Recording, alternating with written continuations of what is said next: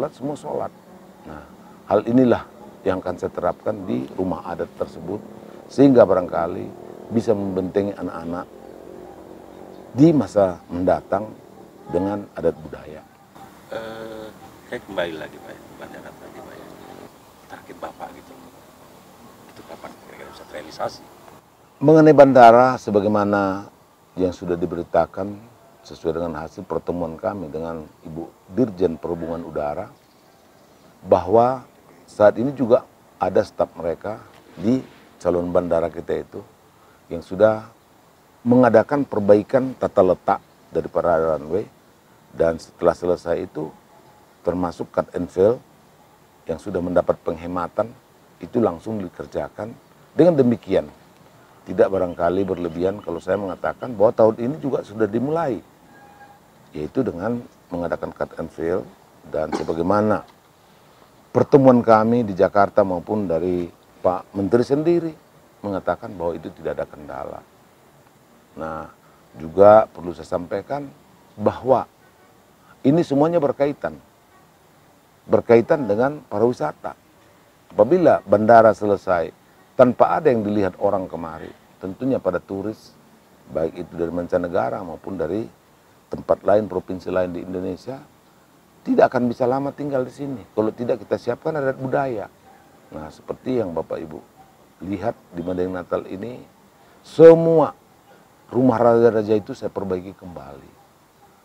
Maksudnya, jika selesai bandara, nah apabila selesai sarapan para turis itu, tentunya akan kita bawa ke rumah-rumah adat yang ada, akan kita bawa ke tempat pemandian air panas, akan kita bawa ke mana air terjun yang bagus, dan juga barangkali bisa lanjut ke pantai barat, yaitu melihat keindahan laut kita yang 172 km tersebut, dan juga tempat-tempat lainnya termasuk di sana, jika nanti kita lihat ada di sana yang saya rencanakan namanya Raja Lima. Raja Lima. Raja Lima. Itu karena mirip dengan Raja Empat. Nah, untuk bisa lengket di benak seseorang, saya buat rencananya Raja Lima. Karena itu mirip sekali, hanya saja mungkin bedanya di Raja Empat itu airnya laut, nah di Raja Lima itu airnya adalah air danau, air tawar. Nah, kesemuanya tentunya nantinya akan menjadi sumber pendapatan buat masyarakat. Kendala lain yang kita amati di lapangan di khususnya di Kabupaten Pendiri Natal ini tentunya ya itu persoalan fasilitas pelayanan kesehatan Pak Bupati. Saya sempat ngobrol dengan beberapa anggota kepolisian yang kemudian dari Medan dan bertugas di sini. Nah, mereka bilang mereka sangat nyaman di sini. Cuma hanya persoalan terkadang masalah kesehatan yang kadang-kadang membuat bingung mereka pada saat ada sesuatu yang emergensi gitu loh Pak. Nah, apa solusi Bapak untuk ini Pak? Sebagaimana kita lihat bahwa saat ini sedang dibangun rumah sakit di Mandailing Natal yang insya Allah nanti itu termasuk salah satu rumah sakit terbesar milik pemerintah di Sumatera Utara ini. Hari ini sudah sampai, ya rencana begitu. Ini berawal daripada betapa banyaknya masyarakat yang berangkat dari Bandara Kuala Namu setiap hari itu ke Pineng untuk berobat. Saya bisa mengatakan bahwa satu hari barangkali masyarakat Indonesia yang berangkat dari Kuala Namu tidak kurang mengantarkan uang ke Pineng itu satu hari satu miliar. Baik itu dari Aceh, dari Sumatera Utara sendiri, dan juga dari tempat lain. Nah, saya terpikir bagaimana seandainya dibuat rumah sakit di Mandeng Natal ini yang besar, apalagi sebagaimana kita ketahui bahwa para profesor yang bergerak di bidang kesehatan itu di USU dan di mana-mana itu banyak orang mendeling.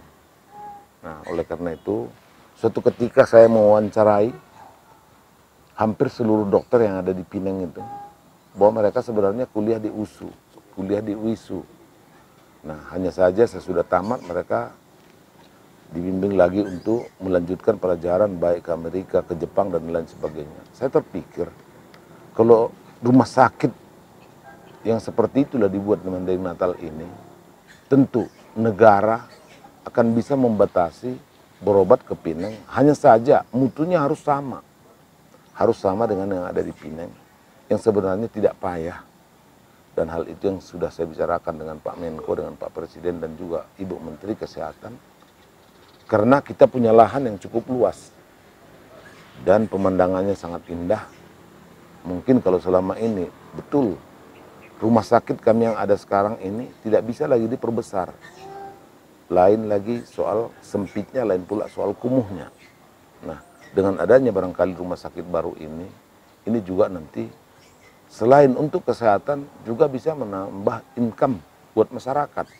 Karena dari bandara ke rumah sakit tentu harus tersedia taksi. Menginap di sini harus tersedia uh, penginapan ataupun hotel. Nah makan demikian juga dari cuci pakaian. Yang kesemuanya akan berkaitan dengan perekonomian masyarakat. Saya memohon doa dari kita semuanya, terutama masyarakat Mending Natal, agar tidak ada kendala mengenai pembangunan rumah sakit tersebut. Mandalika punya bibir pantai yang luas di barat. Nah, ini tentu salah satu potensi ekonomi yang bisa dimanfaatkan untuk kegiatan ekspor impor tentunya. Gitu. Nah, ada nggak pencanangan untuk uh, memanfaatkan uh, panjang bibir pantai yang cukup luas, cukup panjang itu untuk menggerakkan perekonomian di Kabupaten Majalengka Matal ini Pak? Alhamdulillah nama pelabuhan kita adalah Pelimbungan tepatnya di Kecamatan Batahan itu sudah dipersiapkan menjadi kawasan ekonomi khusus ataupun KEK. Saya lagi-lagi bersyukur kepada Allah Subhanahu wa taala Tuhan yang Maha Kuasa. Rahmat yang diberikan sama Mandailing itu cukup besar. Sebagaimana kita ketahui kawasan ekonomi khusus Semangke itu, itu barangkali sampai tiga tahun mempersiapkannya. Ini Alhamdulillah, dua hari yang lalu sudah keluar statement daripada Pak Menko, bahwa paling lama itu akhir tahun, kawasan ekonomi khusus tersebut sudah ditandatangani oleh Pak Presiden, peraturan pemerintahnya ataupun PP-nya. Dengan demikian, berbagai produk Mandailing nanti sudah bisa keluar dari Palimbungan, terutama untuk Samudra Hindia dan termasuk CPO dari Mendeng Natal ini selama ini diangkut ke Belawan ataupun ke Dumai. Yang ongkosnya jauh lebih mahal CPO itu ke Belawan ataupun ke Dumai jika dibandingkan ke India. Nah, di sana juga akan dibuat tangki curah CPO sehingga barangkali kenaikan pendapatan masyarakat itu bisa nanti dibagi daripada kos untuk angkat ke Belawan yang sudah jauh lebih murah ke India. Tentu itu akan kembali ke sebagiannya itu ke masyarakat. Nah demikian juga hal lainnya perlu saya sampaikan kepada kita semua bahwa Bapak Presiden melalui Pak Menko sudah mencanangkan di Mendeng Natal ini akan dibangun kebun nanas dan kebun pisang serta pabriknya terbesar di dunia. Kebunnya itu sendiri itu seluas 50 ribu hektar sebagaimana yang ada di Lampung. Tentu ini juga sangat sangat besar kaitannya dengan peningkatan perekonomian masyarakat. Nah demikian juga perlu saya sampaikan bahwa untuk mengembalikan kejayaan kopi Mandailing juga sebagaimana yang kita lihat di Jambi ada namanya kebun sosial masyarakat karena di sini semuanya hutan lindung itu diberikan hak untuk mengerjakannya dengan sertifikat yang bisa diperpanjang setiap 30 tahun sekali. Nah di sinilah kita harapkan akan jaya kembali kopi Mandailing yang sudah sangat terkenal ini karena selama ini itu sudah telanjur dibuat menjadi hutan lindung. Nah Alhamdulillah sebagaimana yang ada di Jambi dan juga sebagaimana yang ada di Kalimantan itu juga dalam waktu yang tidak terlalu lama akan selesai semua prosesnya sehingga kopi Mandailing yang sudah jaya itu bisa kita kembalikan kejayaannya dan ini nantinya menjadi salah satu produk andalan Mandailing Natal.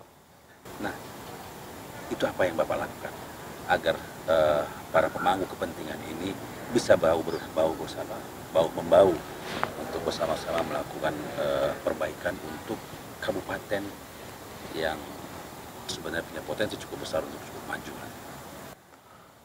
Baik, terima kasih. Khusus mengenai ini, tentunya yang dimaksud oleh Bapak adalah masalah